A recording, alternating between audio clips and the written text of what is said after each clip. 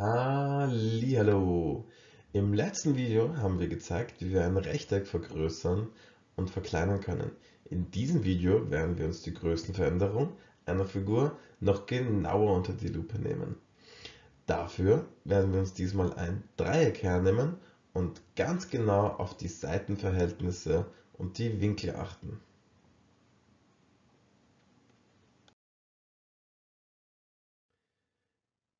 Ich habe eine kleine Aufgabe für dich vorbereitet. Ordne jene Dreiecke einander zu, die einander ähnlich sind. Drücke dafür beim Video auf Pause und setze das Video fort, wenn du es geschafft hast. So, also, ich gehe mal davon aus, dass du die Aufgabe perfekt gelöst hast. Also sehen wir es uns an. Dreieck A ist ähnlich zu Dreieck D. Dreieck B ist ähnlich zu Dreieck F. Dreieck E ist ähnlich natürlich zu Dreieck C. Und damit haben wir es geschafft. Aber warum ist das eigentlich so? Das schauen wir uns jetzt gleich noch genauer an.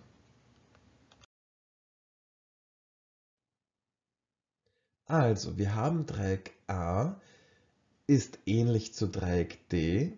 Du siehst, wir haben die beiden Dreiecke so gedreht, dass wir sehr gut erkennen können, dass die beiden Dreiecke wirklich einander ähnlich sind.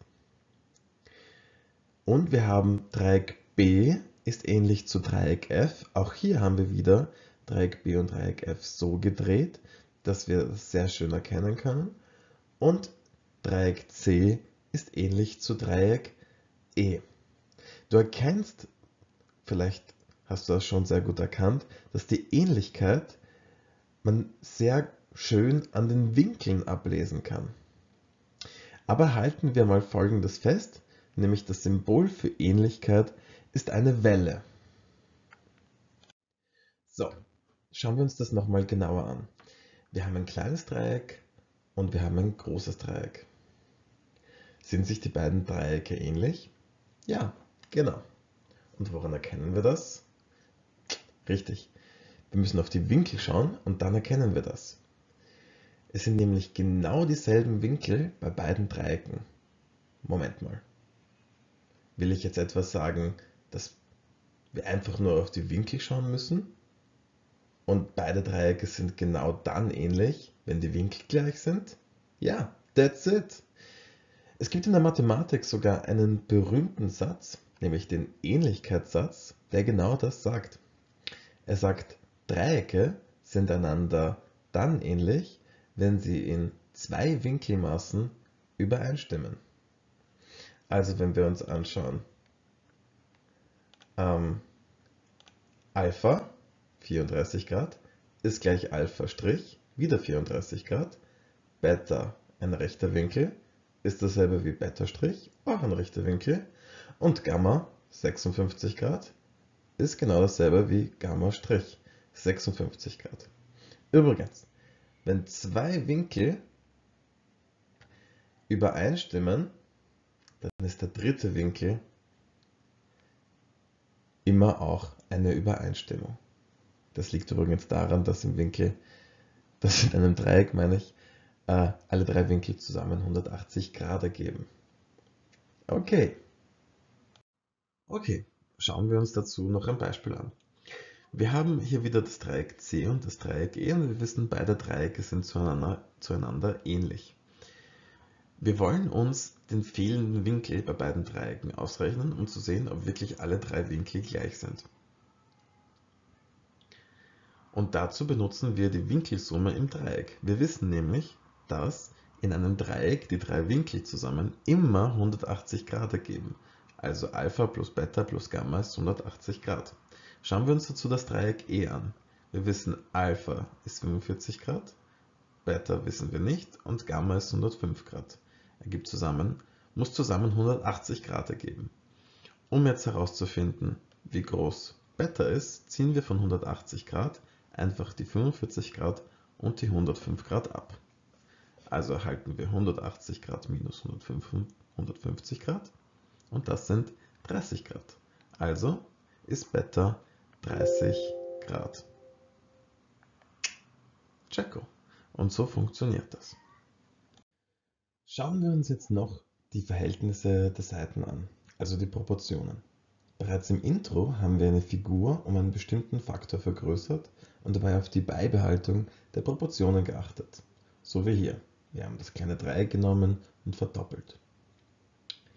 Wenn wir also die Seitenlänge a mit dem Faktor 2 multiplizieren, erhalten wir eine doppelt so lange Seite und diese neue Seite nennen wir a'.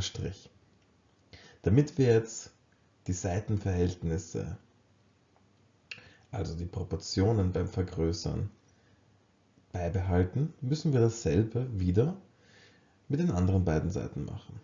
Also b und c mit dem Faktor 2 multiplizieren. Das machen wir auch. Wir multiplizieren b mit dem Faktor mal 2, erhalten wieder das Doppelte der Seite b. Sorry für den kleinen Zwischenton gerade. Erhalten b' und wir verdoppeln die Seite C und erhalten die neue Seite C' vom neuen Dreieck.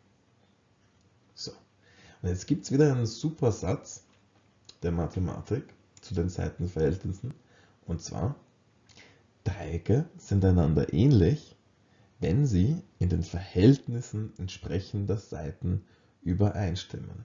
Huh, das klingt kompliziert. Was heißt das? Also, wir haben hier a zu a' ist b zu b' gleich c zu c'. Was heißt das? Also wir schauen uns die Seite a an und wir schauen uns die Seite a' an und wir sehen, die Seite a' ist das Doppelte von der Seite a. Das heißt, das Verhältnis von a zu a' ist wie 1 zu 2, weil a' das Doppelte ist von a. Und dieses Verhältnis, also das Verhältnis der neuen Seite, die wir vergrößert haben, zur alten Originalseite, muss dasselbe Verhältnis sein, wie auch von den anderen neuen Seiten zu den alten Seiten. Also schauen wir uns B' an. B' ist auch das Doppelte von seiner alten Seite B. Und C' ist auch das Doppelte von c. Das haben wir ja gerade gemacht. c mal 2 ist c'. Und damit haben wir gezeigt, dass zwei Dreiecke einander ähnlich sind, wenn sie in den Verhältnissen der entsprechenden Seiten übereinstimmen. Okay, schauen wir uns das mit den Seitenverhältnissen nochmal an einem Beispiel an.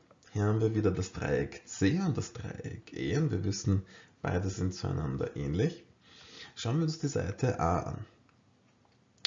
Die Seite A habe ich jetzt so verlängert, ähm, dass sie genau der Länge der Seite A' entspricht.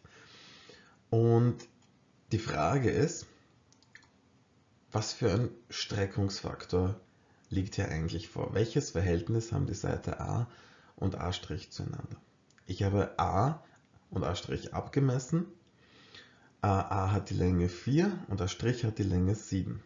Das heißt, wir haben ein Seitenverhältnis a zu a' ist gleich 4 zu 7. Und jetzt wollen wir uns fragen, wie oft passt eigentlich a in a' hinein?